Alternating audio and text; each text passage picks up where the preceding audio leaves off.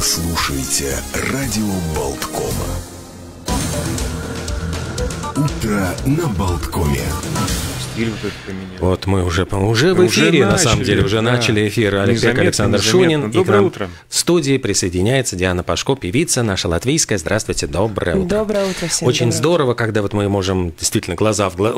Часто за время ковида мы привыкли уже к тому, что постоянно работаем в зуме. И, конечно, с одной стороны, интересно, это возможность э, вытащить людей там в самых невероятных там э, историях из-за границы тоже. У нас там были включения.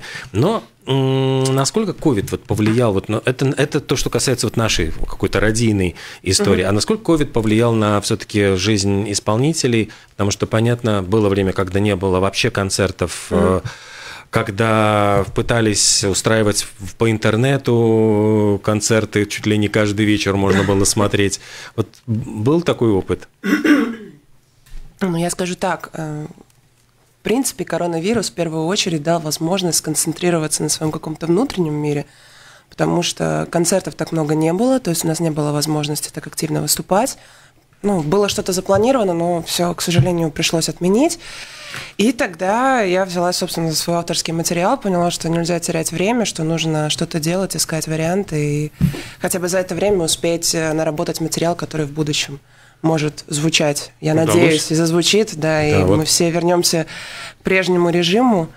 Ну и это была отличная возможность э, поработать и удаленно с различными музыкантами. Я, допустим, работала с музыкантами из Украины. Мне посчастливилось э, найти людей, которые со мной оказались на одной волне и услышали то, что слышу в своей голове я. Вот. А как происходит эта работа удаленно? Вы знаете, очень сложно, потому что я на самом деле такой человек, мне надо сидеть рядом и э, находиться в процессе непосредственно здесь сейчас. Эм, для меня это был тоже, так сказать, вызов, потому что, ну, общаясь э, лично, у тебя есть сразу же обратная связь, и все-таки онлайн это такая коммуникация не без шумов, я бы так сказала, потому что иногда нужно что-то срочно поменять, иногда нужно что-то переделать. У меня какая-то идея быстро рождается. И вот из-за этого расстояния, и несмотря на то, что это онлайн, все равно сразу тут и сейчас не получается. Потому что эта песня, она должна была выйти, про которую мы сегодня поговорим, ну, в принципе, планировалась год-полтора года назад. К сожалению, ну вот, хотя, может быть, и к счастью, как говорится, все в свое время приходит, да, и случается. Но, тем не менее, из-за того, что я не смогла прилететь, допустим, э, в Украину своевременно, все это затянулось. Так что это отличная возможность э, себя прокачать в некоторых, э, так скажем, ну не знаю, там, организационных моментах, скажем так, узнать новых людей, посотрудничать с кем-то, потому что ну, всем же скучно, ну, все дома сидят, но не для себя же петь. Можно, конечно, но очень быстро надоедает. Поэтому все начинают как-то что-то придумывать, активничать. Но, с другой стороны, это все равно есть какие-то свои издержки. И вот в данном случае издержками стало это время. Но, знаете, мне кажется, что иногда стоит ждать, чтобы получить тот самый результат, который ты долго хотел достичь. Ну, судя по одному из видео, если не ошибаюсь, э, в ваших социальных сетях, угу. эта песня появилась и не год, и не два назад, а пять да, да. Что такое прозвучало, что я ее напевала там под гитару у костра, условно, там, да, сейчас да. близко к тексту что-то да. а, импровизирую пять лет назад, и вот наконец вы высидели, высидели. Я пишу свои песни, на самом деле, просто об этом мало кто знает, ну, лет, наверное, с 13. И я не знаю, почему так у меня по жизни складывается, но в целом мне никогда не удавалось их э, делать легко. То есть у них всегда был какой-то очень сложный путь. Или в плане нахождения своего человека, аранжировщика, или там в плане выпуска или запуска. То есть вот как-то по конкурсам с какими-то каверами у меня все гораздо легче получалось. Но это понятно, потому что авторский материал, он пока никому не известен, и э, нужно вкладывать эм, гораздо больше сил да, на раскрутку, нечем ты там поешь уже всем известную песню. Вот. И эту песню я написала, ну, если я не ошибаюсь, лет э, пять назад, наверное. У меня есть где-то еще видео, где я сижу на даче ночью, там, тихоря что-то записываю. еще тогда с родителями жила, то есть я мешала и соседям, и им спать. Вот, но песня обычно ко мне приходит очень быстро, то есть это за 20 минут я могу написать э, от и до, это просто какой-то поток, и я слышу сразу со словами и с музыкой, нет такого, что я очень долго сижу и там подбираю что-то. То есть это просто пришла одна идея, я ее под пианино пропела, все, у меня структура в голове сложилась, и самое как бы в этом процессе неприятное, то, что там в голове это все и остается, потому что потом тебе нужно нести это в свет, показывать, э, искать людей, кто вот бы вот, вот ну, словил эту ну, идею. Ну, да. начинается, это же надо еще реализовать, а в голове это уже все звучит, да, уже им, все хорошо. Так. А было бы вот... так здорово, вы, вытащил флешку из головы уже с готовой песней, вот уже она вся вот прозвучала от и до, и вставил. И в голове, если бы вы знали, сколько у меня в голове песен, у меня, наверное, уже альбома три, наверное, в моей голове. Я все вот уже годами это слушаю, я уже схожу с ума, если честно. Поэтому это уже физически мне необходимо. Давайте не сходить с ума. А, песня сломанная. Да. Первая ли она из того самого собственного материала? Вы знаете, нет, я не буду врать, она не первая. До этого я уже выпускала две свои песни. А, первая называлась «Наугад». Ну, тогда это, сколько мне лет было тоже, наверное, каких 17. Потом у меня была песня «Я или она». Они все есть в сети, у них есть э, свой небольшой круг, но тем не менее таких э, сердечных э, слушателей.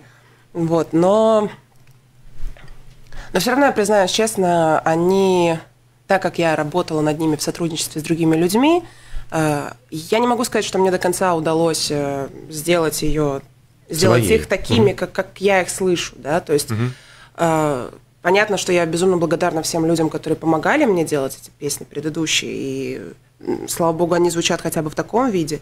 Но в дальнейшем я думаю, что если я уже буду делать какую-то свою авторскую программу, то и эти песни, они зазвучат, наверное, в новом каком-то звуке и в, новом, э, в новой аранжировке, потому что нормально все идет вперед, все как бы меняется.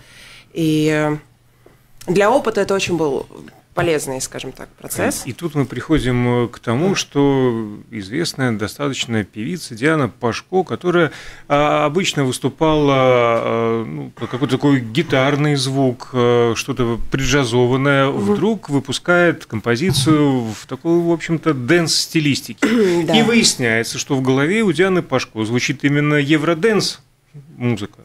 Ну, вы знаете, я признаюсь так честно, я выросла на музыке Константина Меладзе, я обожаю этого композитора, это самого моего раннего детства вставлялся его э, диск, там, начиная с c'est la vie эпохи, я рассаживала игрушки по дивану, и вот там начинался у меня концерт, то есть это русская эстрада, да, и, как вы говорите, dance -музыка, она у меня в крови, я не знаю, хорошо это или плохо, то есть э, многие меня как-то э, склоняют, скажем, к более фирмовому звучанию, но я внутри я душой русская чувствую вот эту вот всю драматизм ситуации максимально, и вот, наверное, такой русская на, на разрыв аорты, чтобы, да, так, чтобы да, страдания такие, вот одно название сломанное обо всем да, говорит. Да, но сразу забегая вперед, это тоже вымышленная история, скажем так. Я человек впечатлительный, у меня хорошая фантазия, вот, и я люблю, даже, не знаю, там, сидя где-то, наблюдая кого-то, у меня рождается картинка в голове, она меня может вдохновить настолько, что я могу написать целую песню. Вот, поэтому сейчас со мной все хорошо.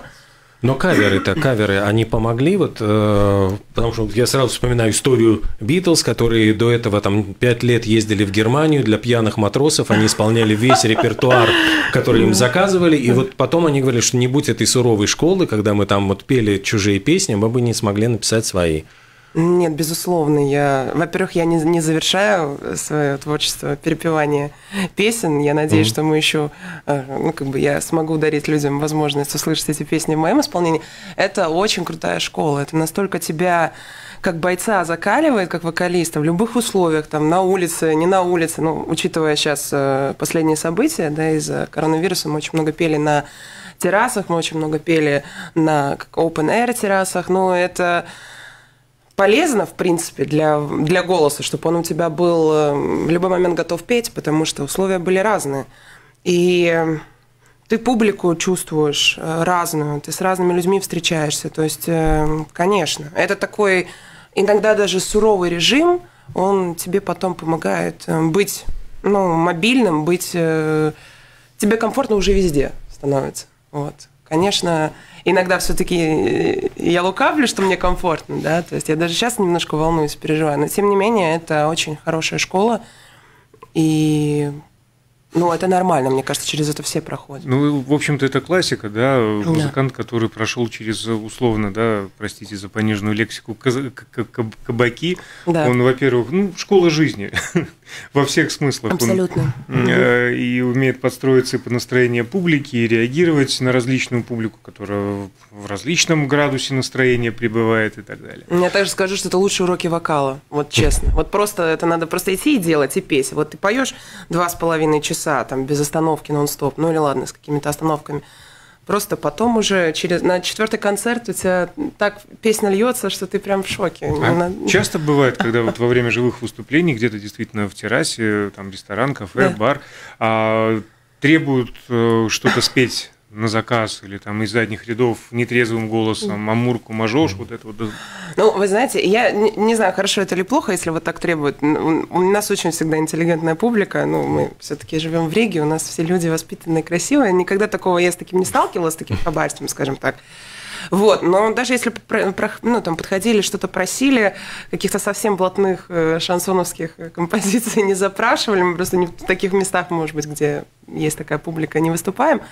В целом мы на самом деле пару раз даже были готовы что-то там на ходу прям найти аккорды и что-то спеть. Владимирский зависит... централ, условно. Ой, да я и не против Владимирского централа. Отличная песня, угу. ее можно по-разному тоже исполнить. Мне кажется, это тоже показывает, насколько ты можешь подстроиться. Ага. А ну, вот как раз вот а про каверы. Вот я, угу. я как ведущий программы когда-то была у нас э, Переделкина про каверы, вот всегда было интересно услышать песню, которая вдруг ну, вот полностью по-другому, там какая-нибудь лирическая баллада, она да. звучит как тяжелый рок, угу. или там в стиле джаза, совершенно вот ты, ты привык ее слушать как зубодробильную какую-то такую, а ее поют как вот сентиментальную песню. Это, конечно, безусловно, это хорошо, потому что твое какое-то авторское прочтение, что-то новое, потому что это всегда полезно посмотреть на что-то уже скажем так, статичное, всем понятное, под новым углом. И ты думаешь, вау, да здесь еще можно кучу всего придумать. Собственно, мы на самом деле с The э, Croissant, с ребятами, с которыми я играю каверы, мы тоже всегда подстраиваемся, во-первых, под мой голос, учитываем, mm-hmm. что он достаточно низкий, что, может быть, стоит поменять, э, там, не знаю, какие-то партии, чтобы это оттенить, да, и никогда не копируем точно-точно, что я не вижу смысла. Ну, ты, может, не платить музыкантам, не звать их, поставь э, не знаю, диджей, он тебе сыграет все песни именно в том звучании, в котором тебе, они тебе нравятся. Но мне приятно, когда слушатели иногда подходят и говорят, ты знаешь, мы слушали песню, там, допустим, не знаю, мы перепеваем Макса Барских «Туманы» или там «Лободу. Твои глаза», ну что-то очень уже настолько въев, въевшееся в голову людям, да, и я даже не сразу поняла, что это эта песня. Ну, то есть, как бы, если она в записи, допустим, ну, и это здорово. Для меня это лучший комплимент, потому что, ну, если это что-то отличное от того, что всем привычно, то значит нам удалось привнести что-то свое, и я не могу сказать, что это просто копи-пейст, скажем так. Лабада. Не я первый произнес эту фамилию. Да. А никто не говорил, что аранжировка сломанный напоминает Лабаду?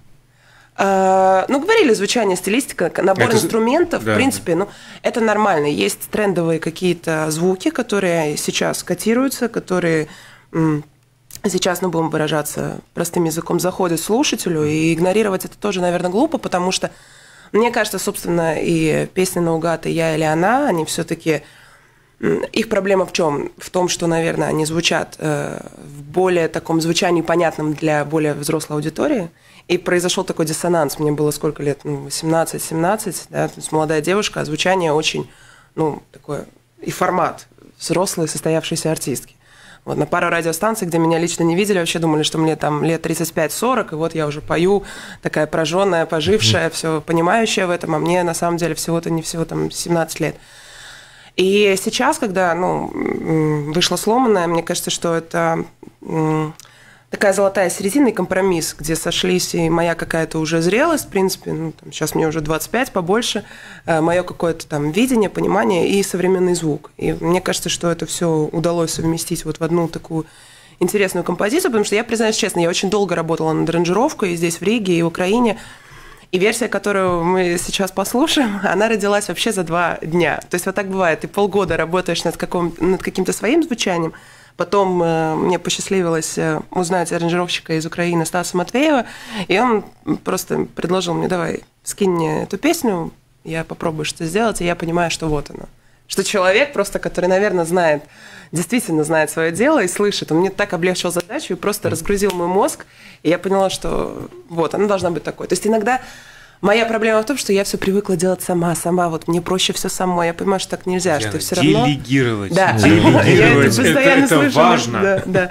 И я понимаю, что каждый должен, наверное, заниматься все-таки своим делом. Нужно доверять людям, учиться, mm. довериться а, прислушаться. Я очень благодарна всей команде, которая работала, потому что они говорят, ну нет, Диана, ну давай вот здесь оставим этот звук, ну ты просто уже привыкла, ты там вот заслушала это демо, полгода там сидела на своих дачах, еще где-то давай немножко по-другому. Но они-то все-таки слышат объективно, у них нет уже замыленности. Да, да, да, да. Они не так вцеплены, там, не так вцепля... вцеплены в этот материал, поскольку я, конечно, как автор, я, ну, это мое детище, я не могу оставаться там равнодушной. Вот, ну и я им за это очень благодарна. И такой опыт, который, да, вывод один. Делегировать, вы правильно сказали, доверять, вот, э, но проверять, конечно же. И не бояться выходить за рамки свои какие-то привычные. Я правильно понимаю, мы сейчас э, стали свидетелями внутреннего монолога, который просто был вслух произнесен. Меня чаще приглашайте, тут такие будут монологи, да, у меня это часто происходит. Я не так часто разговариваю с людьми, я, поскольку такой достаточно закрытый человек, но если разговариваю, то вот потом что-то такое могу выдать. Как нам повезло, что вы сделали для нас исключение. Ой, нет, мне повезло, что вы меня пригласили. Спасибо большое. Спасибо. Мы обменялись комплиментами. Но вот смотрите, когда ждать следующих песен? То есть вот их, я понимаю, уже накопилось достаточное да. количество. Э, дело за чем? За аранжировщиком? Но в него я верю, он уже найден. Угу. Витя, привет. Угу. Нет, все, мы работаем, у меня 18 ноября день рождения. Я не хочу ничего загадывать, хотя я уже ляпнула, ну ладно. Я очень надеюсь, что осенью выйдет еще, ну, как минимум, две песни. Э, одна из которых точно будет на английском языке. Это тоже абсолютно случайно произошло. Я там же в Украине, когда была, я за 10 минут написала песню на английском. И это было очень для меня странно, потому что я никогда на английском не пишу.